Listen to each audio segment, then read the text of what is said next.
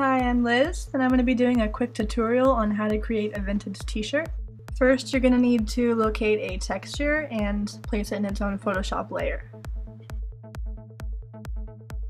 Then rotate or resize your texture layer so that it covers your entire original artwork.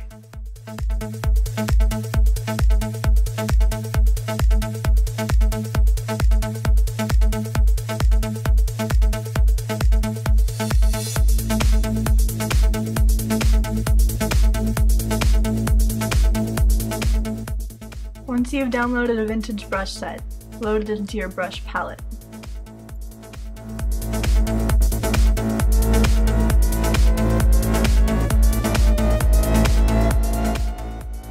Choose a vintage brush from your brush palette, and then select the eraser tool and begin erasing around the edges of your original artwork to give it a vintage effect.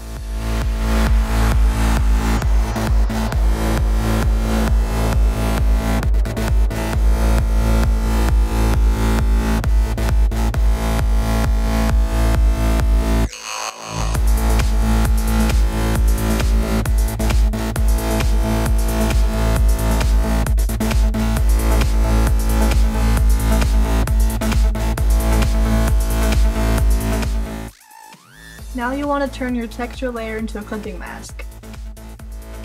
And from the drop-down menu, select Multiply. If you're satisfied with your vintage design, delete your background layer and save your project as a PNG file.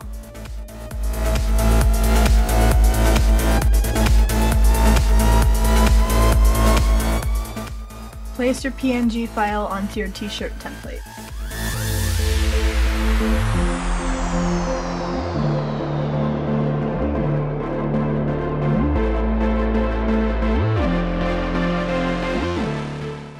Now you've created your own vintage t-shirt, ready to be uploaded to the Design by Humans website.